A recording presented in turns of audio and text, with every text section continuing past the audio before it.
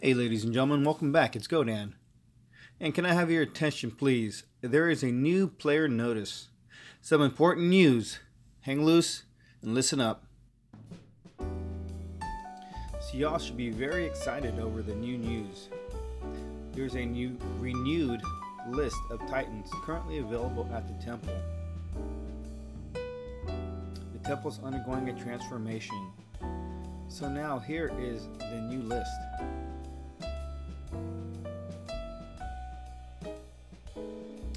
They've added some new four stars, which looks awesome. Siegfried, Kamathi, Avalos, Ishkar, Korthan, Sakani. Wow. Take a look at that list.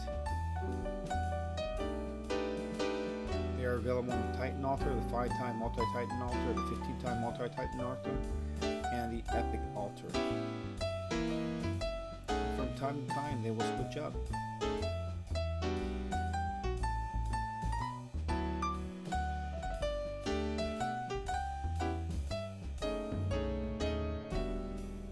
Awesome.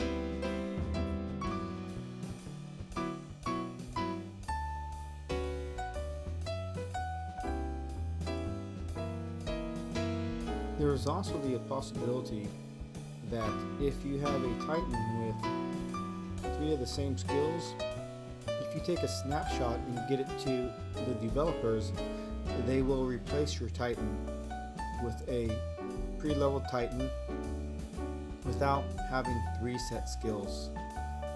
So there's a 72 hour window for that. So get going, people.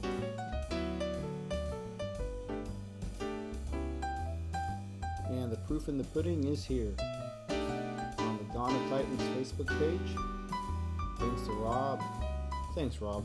Rob Hug. Appreciate it. When now? Life moves pretty fast. You don't stop and look around once in a while, you could miss it.